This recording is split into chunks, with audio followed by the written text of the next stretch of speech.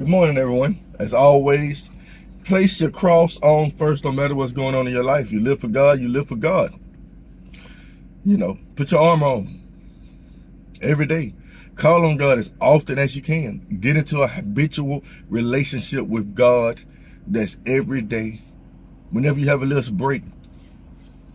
When you start giving your life to God, every time you get a spare moment, he should cross your mind. I'm just being real with you. You know, if you love God, he should be on your mind. Just like you got loved ones in this world that you love to death and they cross your mind. If you love God, shouldn't he cross your mind? Shouldn't he be a part of your daily thought process? Our Father who art in heaven, hallowed be thy name. Thy kingdom come, thy will be done on earth as it is in heaven. Give us this day our daily bread and forgive us our trespasses as we forgive those who trespass against us. And lead us not into temptation, but deliver us from evil. For thine is the kingdom, the power, and the glory forever. Amen. I'm going to read from 1 Samuel today. I'm going to read about some sons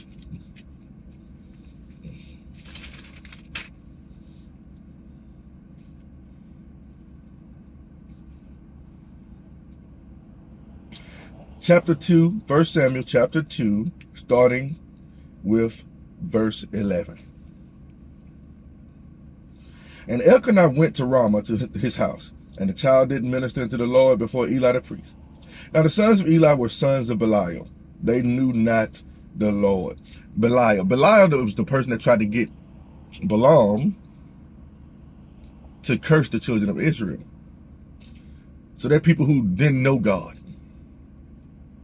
And the priest's custom with the people was that when any man offered sacrifice, the priest servant came while the flesh was seething with a flesh hook of three teeth in his hand, and he struck it into the pan, or kettle, or cauldron, or pot. All that the flesh hook brought up, the priest took for himself. So they did in Shiloh unto all the Israelites that came thither. Also, before they burnt the fat, the priest servant came and said to the man that sacrificed, Give flesh to roast for the priest for he would not have it sodden flesh of thee, but raw. Now there's one stimulation, according to the new and the old, in regards to meats. Don't eat raw meat. You know, I know everybody watch TV, you're like, this is how a perfectly cooked steak look, and it's dripping blood. Let me tell you something, people. Better safe than sorry. Oh, it's tender and it's bloody. If you squish it down and blood dripping out, something is highly wrong. Cook it some more. It ain't gonna kill you. It's only gonna help you. And if any man said unto him, let them not fail to burn the fat presently, and then take as much as thy soul desires. Then he would answer him, Nay, but thou shalt give it now. And if it not, I will take it by force. This is what the sons of Eli were doing. Wherefore the sin of the young men was very great before the Lord. For men abhorred the offering of the Lord. And I think in regards to the New Testament and how the churches are today, you know why a lot of people don't go to church? Come on to our church. Well, when you read this Bible and you see things going on in the church, you don't have to be there.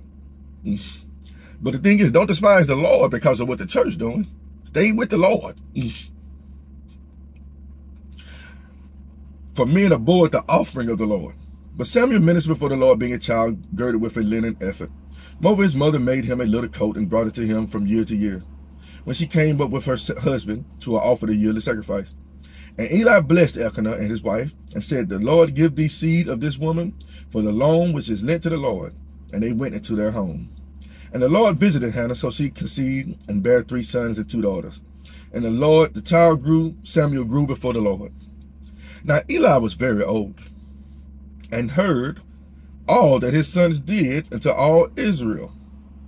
Now let me tell you something, people. There's something called turning the blind eye. And a lot of people do it. A lot of people in the church do it because they don't want the church to look bad. Well, it's going to look bad if they don't go with the words of the Lord. and how they lay with the women that assembled at the door of the tabernacle of the congregation. So you had men back in the day sleeping with the congregation. Hmm. First of all, they they this is this is what I was talking about earlier, yesterday, about the man of God should be the husband of one wife. You know, but these men didn't have no wives. They were just adulterers uh, and fornicators. And he said to them, Why do you such things? For I hear of your evil dealings by all this people. And he corrected them. Hmm. Nay, my sons, for there's no good report that I hear. You make the Lord's people to transgress. Now, one thing about going to the wrong type of church, you can be misled. Hmm. If one man sin against another, the judge shall judge him. But if a man sin against the Lord, who shall entreat him for him? Hmm. That's why he said, Woe to those who teach, for they shall face the greater condemnation. That goes for me and anybody else who call themselves teaching and pick up this Bible and teach others. Hmm. Notwithstanding, they hearken not unto the voice of their father, because the Lord would slay them. Hmm. Ooh. And there came a man of God unto Eli and said to him, Thus saith the Lord, Did I plainly appear to thy house of thy fathers when they were in Egypt and Pharaoh's house? And did I choose him out of all the tribes of Israel to be my priest, to offer upon my altar to burn incense, to wear an ephod before me? And did I give unto thy house of thy father all the offerings made by fire of the children of Israel? Wherefore you kick at my sacrifice and at my offering, which I have commanded, in my habitations, and honor thy sons above me, to make yourselves fat with the chiefs of all the offerings of Israel, my people. Hmm. Look at the churches you see around here. They might not be getting physically fat, but they sure getting fat off the offerings of the people. Wherefore the Lord God of Israel said, I said indeed that thy house and thy house of thy father should walk before me forever. But now the Lord saith, Be it far from me. For them that honor me, I will honor. Mm. And they that despise me shall be lightly esteemed. How do you honor God? By keeping his man. How do you despise God? By not keeping his commands. It's very simple. Behold, the days come that I will cut off thine arm, and the arm of thy father's house, that there shall not be an old man in thine house. And thou shalt see an enemy in my habitation, and all the wealth wicked, the wealth which God shall give Israel, and there shall not be an old man in thine house forever. And the man of thine whom I shall not cut off from mine altar shall be to consume thine eyes and to grieve thine heart. And all the increase of thine house shall die in the flower of their age. And this shall be a sign to thee that shall come, that shall come upon thy two sons, on Hophni and Phinehas. And one day they shall both, they shall die, both of them. And I will raise me up a faithful priest, and that shall do according to that which is in my heart and in my mind. And I will build him a sure house, And he shall walk before my anointed forever. Who is that priest? You know who it is. Jesus Christ, the high priest. And it shall come to pass that everyone that is left in thine house shall come and cross to him for a piece of silver and morsel of bread, and shall say, Put me, I pray thee, into one of the priest's offices that I may eat a piece of bread. You see what happens when you, especially the men of God, who call themselves men of God or women of God, they call themselves women of God and go against his words and do things they shouldn't do. Now to think about this, key word here. Eli was old. God had already warned them, but he let him, him and his sons, let him let his sons run rapid forever. That's why God says, God says slow to anger. Now, that's not the case with everybody. But in this case, he waited till he was old. He gave him time to repent and correct his sons, and he didn't. Oh, I told him, Lord. I'm sure that's what he gonna tell. Lord, I did try. You should have did more. Now you and your all the men in your house are cursed by the, by God because of what you were doing. And he didn't wait till you was old. Look, he did the same thing with Solomon. When he was old, slow to anger. You understand? Let's go over to Psalm 119 Read a few of these right quick. Psalm 119, starting with verse with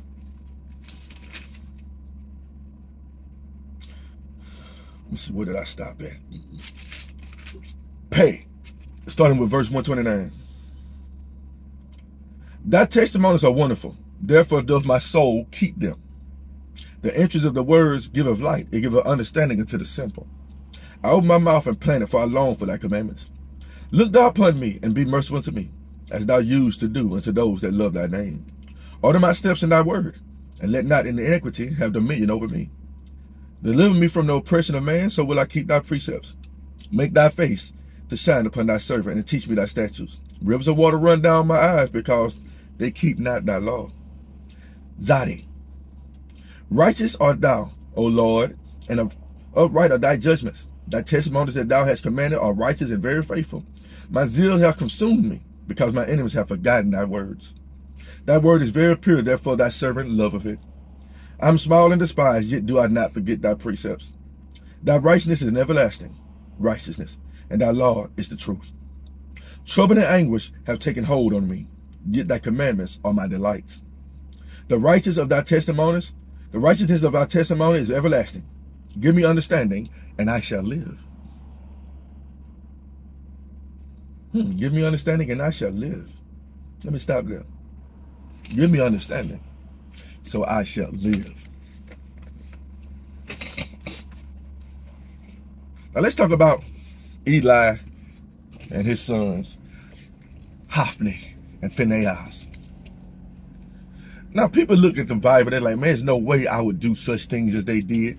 People read this Bible and see what God does to those people who don't keep his commands, who don't follow his instructions. Saul, the first king of Israel,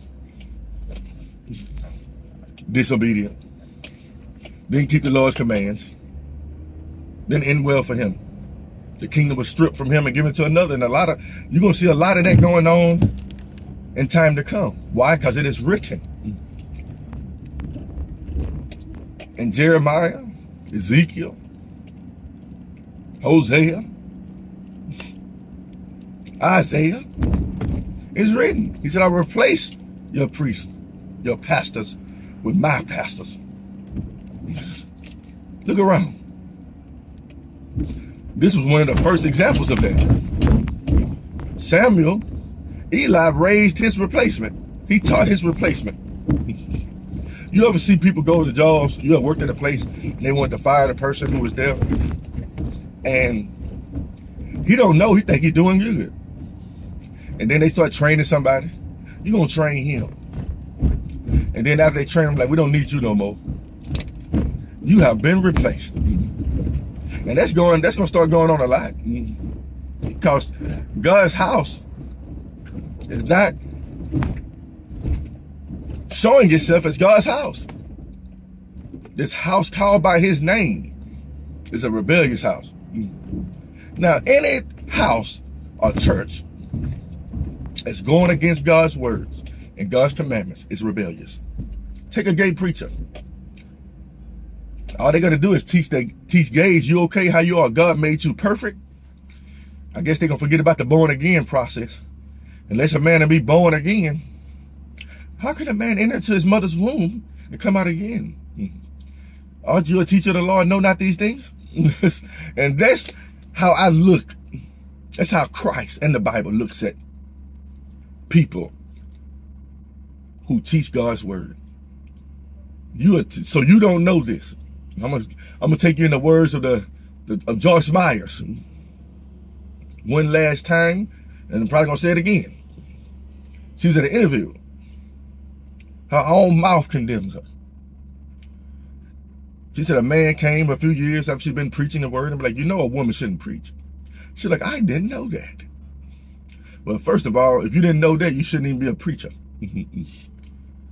you shouldn't be a preacher for multiple things, but you saying you didn't know just showed the whole world that you're a novice, that you're a rookie, mm-hmm, that you don't even know the scripture, but you call yourself to be a preacher of righteousness and said, I didn't know that. It's clearly outlined in Timothy. And I'm sure back then they knew. You're not supposed to eat raw meat. Fornication is forbidden. You're not supposed to sleep with the women in the congregation. I knew a preacher that's still preaching right now. Mm-hmm. Know the word in and out. Was preaching to us in the job. But I know the truth behind him. He said God revealed to him that he can do what he can do. He can sleep with any woman he wants. Hmm. So God told you you can go against his commands because you're special. In that case, why did David get punished for the act of adultery and murder? If you okay with it, and, and David was his anointed, his chosen, and he rebelled against God and was punished. What makes this man think that God told him to do the exact same thing with no repercussions? Sound like the voice of the Antichrist. He said, my sheep know my voice. So if you read the word, it's like me reading the word, right? As a married man and knowing thou shalt not commit adultery. And a voice in my head, man, you, can sleep with every woman in this congregation, married or single. And I'm like, Lord, that must be you. Because your words line up with what you just told me. No, they don't. If we don't line up with the word, how can it be true? But let me pause and I will continue.